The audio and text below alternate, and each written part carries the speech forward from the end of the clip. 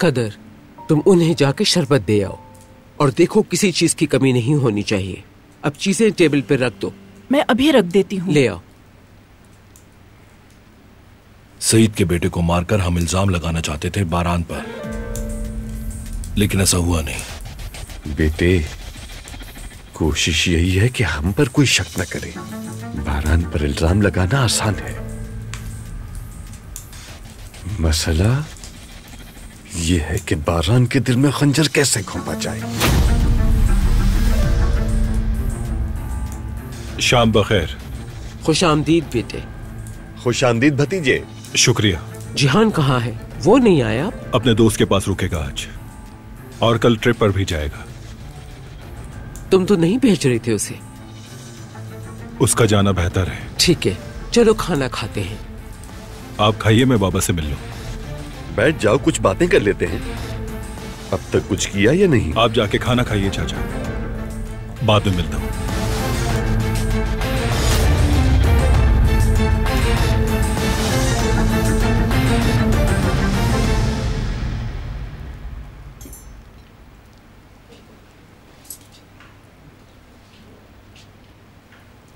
या अल्लाह, इतने साल मैंने अपने बच्चों को इन परेशानियों से बचा कर रखा।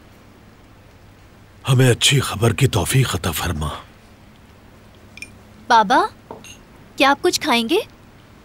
जल्दी नहीं है बेटी खा लूँगा मैं बाद में। हाय अल्लाह कसम से बहुत भूख लग रही थी मुझे तो। जरा देखो तो क्या पका है। अरे ये तो मुझे बहुत पसंद है। हम्म, हम्म, हम्म, बहुत मज़ेदार बना है ये तो। वैसे आंटी जो आपने चाहा वो आपको मिल भी गया। जुमरुद अरे कुछ नहीं बड़े होके समझ जाएगी। चलो लड़कियों बातें बंद करो और अपने बाबा को कुछ खाने के लिए दो। मैं जब भी फारिग होती हूँ तो दुकान पर भी टाइम देती हूँ। तो फिर यहाँ क्यों आई हो? मेरी बहन बाहर जा रही है। यहाँ काम करके टिकट लेकर उससे मिलने जाऊँगी। टिकट मैं करा दूँगी। तुम फ़िक्र मत करो बिल्कुल। इनशाला ऐसा ही होगा। जुमरुद तुम्हें कहीं जाने की ज़रूरत नहीं। उफ, सईद आ जाओ। किसकी कॉल है बाबा? हाँ हेलो रुकना जरा। क्या हो रहा है अम्मी? कुछ नहीं तुम सूप इधर रखो। चाचा ने आपको बताया होगा। उन्हें वो जालिम मिल गए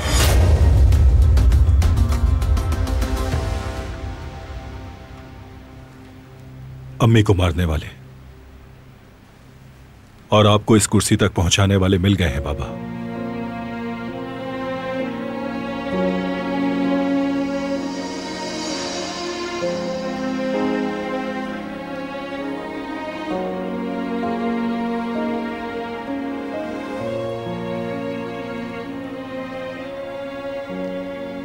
मगर आप फ़िक्र मत करें। मैं अम्मी की वसीयत निभा के रहूँगा। जिहान की हिफाजत करूँगा। इस मसले से दूर रखूँगा उसे। उसका किरदार साफ़ रहेगा। अम्मी के खून को जाया नहीं होने दूँगा मैं। आप पुरसुकून रहिए बाबा।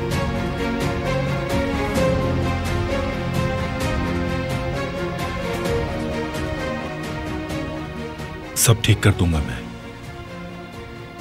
आपके सर को कभी नहीं झुकने दूँगा। वो आदमी बच नहीं पाएगा। उसका एक बेटा भी है।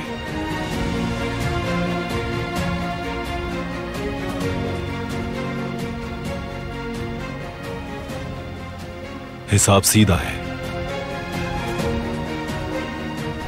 उसके बेटे की जान लेनी होगी ताकि हिसाब बराबर हो जाए।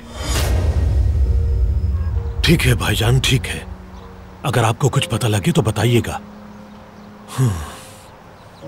बाबा उन लोगों के बारे में कुछ पता चला? कुछ भी पता नहीं चला बेटे। हालाँकि मैंने कोशिश भी की है। परेशान मत हो पापा तो आपका ख्याल सही निकला। अगर ये वही होते तो इंतज़ार नहीं करते। दुकान के अतराफ वो कितनी देर तक रहे? मुझे अंदाज़ा नहीं लेकिन जब मैं निकला तो वो नहीं थे। शायद वो हमारे लिए ना आए हों। बाबा आ जाए खाना ठंडा हो रहा है। ठीक है बेटी शुक्रिया आते हैं।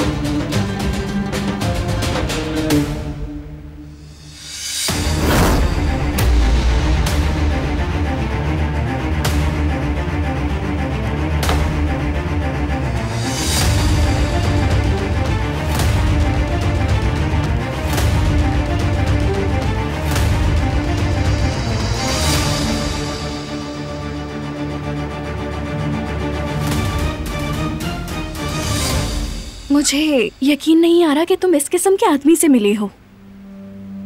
क्या बताऊँ? मैंने अपनी ज़िंदगी में इतना बदमिजाज और जालिम इंसान नहीं देखा। घोड़े का क्या हुआ? क्या मार दिया? मुझे नहीं मालूम। उसके बारे में सोचकर बेचैन हो जाती हूँ। सोचो जरा उसकी टांग टूटने की वजह से क्या हम उसकी जान ले लेंगे? घटिया आदमी। और तुम्हारे साथ भी उसका रवैया अच्छा नहीं था। जिसे घोड़े की परवाह नहीं वो किसी की क्या परवाह करेगा? कोशिश कर रहा था वो। उसके लोग भी उसकी शक्ल देख रहे थे। उसके खौफ में डूबे हुए। मगर वो तुम्हें नहीं डरा सका। तुमने यकीनन उसे लाजवाब कर दिया होगा। बहुत बहादुर हो तुम। अब ज़्यादा चढ़ाओ नहीं तुम मुझे। मैं चढ़ा नहीं रही तुम्हें। तुम हमेशा से ही ऐसी हो जब हम छोटे होते थे। बचपन से ही तुम मेरी आइडियल रही हो। तुमने हमेशा मेरा ख्याल रखा है। तुम्हारे जाने के बाद मैं क्या करूँगी? किसके साथ रात भर बैठकर बातें किया करूँगी मैं? और कुकीज कौन देगा मुझे? बड़ी बातें बनाने लगी हो तुम। मेरा दिल हमेशा तुम्हारे साथ रहेगा। हम रोज वीडियो कॉल कर लिया करेंगे। वादा करो। वादा करती हूँ। बाल गीले हैं तुम्हारे। बीमार हो जाओगी तुम। जल्दी सुखाओ फ़ौरन जाओ।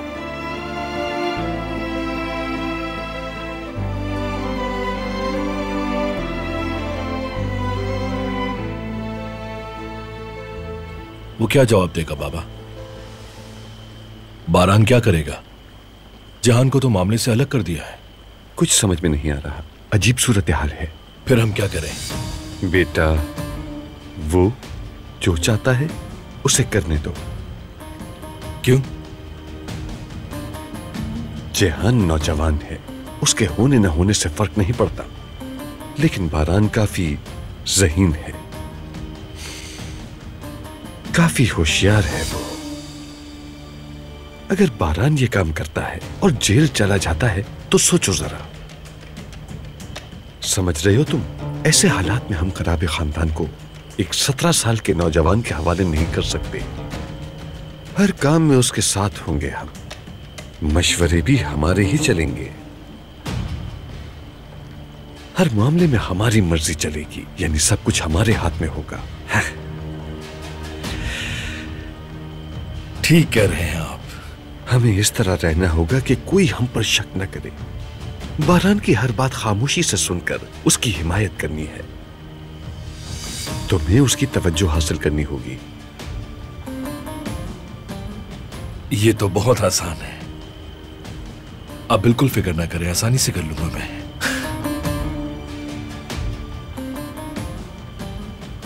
बारान?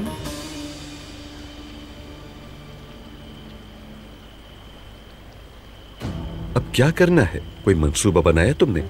उन बदबख्तों को कैसे सबक सिखाना है? फ़िक्र मत करें चाचा। मैं संभाल लूँगा। चाहो तो फिर को अपने साथ ले जा सकते हो। एक खानदान है हम। ऐसे मुश्किल वक्त में खूनी रिश्ते का साथ होना बेहतर होता है। मुझे ज़रूरत नहीं। और बदाखलत भी पसंद नहीं। ये काम कल हो जाएगा।